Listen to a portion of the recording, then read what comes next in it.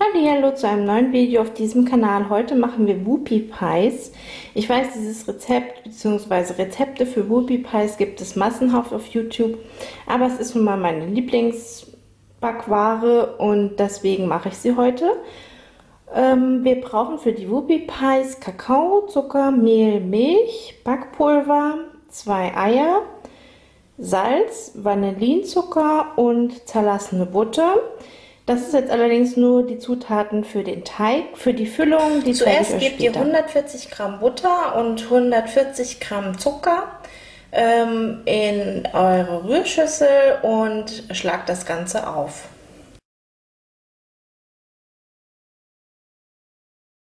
Dann ihr vermengt ihr 250 Gramm Mehl mit 6 Teelöffeln. Habt ihr das ähm, getan, Kakao. könnt ihr eine Prise Salz und einen Teelöffel Dann gebt ihr hierzu, wenn es dann äh, weiter rührt, ähm, die Mehl-Kakao-Mischung und 110 Milliliter Milch und lasst es dann langsam vermengen.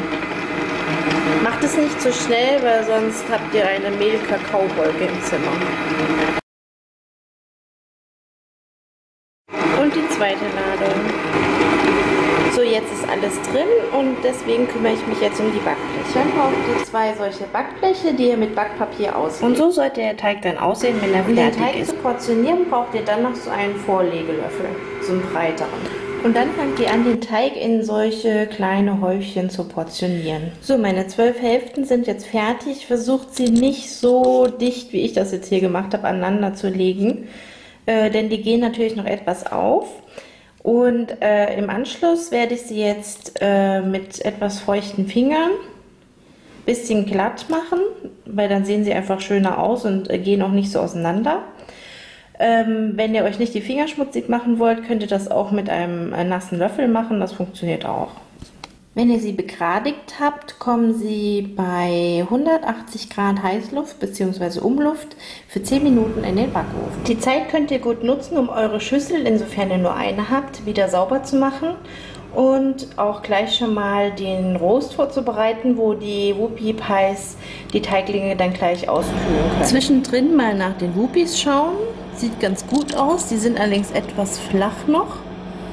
Ich hoffe, sie werden noch etwas höher. So, die 10 Minuten sind jetzt rum. Ich denke, sie sind ganz gut. Ich mache jetzt gleich den Stäbchentest. Ihr wisst schon, äh, Stäbchen reinmachen, gucken, ob Teig dran hängen bleibt. Wenn ja, noch ein bisschen drin lassen. Wenn nein, könnt ihr es Um sie vom Backpapier abzuheben auf den Rost, nutzt ihr am besten ähm, so einen Teigschaber. Damit kriegt man sie ganz gut ab. Bevor ihr die Füllung macht, lasst die Wuppi-Teiglinge sehr gut auskühlen, denn die sind am Anfang noch relativ, ja wie soll ich sagen, lapperig.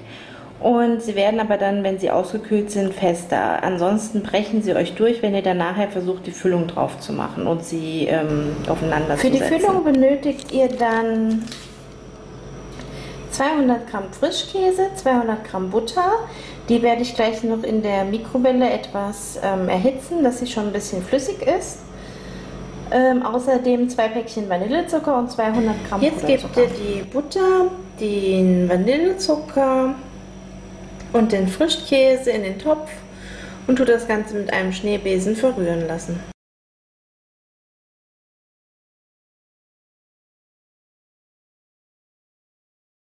Wenn das Ganze so leicht äh, steif geschlagen ist, gebt ihr dann nach und nach die 200 Gramm Puderzucker hinzu. Wenn das Ganze so gut vermengt ist, dann schlagt ihr das Ganze auf höchster Stufe noch zwei Minuten die auf. Die Creme verteilt ihr jetzt auf die Hälften und dann tut ihr die anderen Und dann gebt ihr die Preis für circa zwei Stunden in den Kühlschrank. Bon Appetit und bis bald!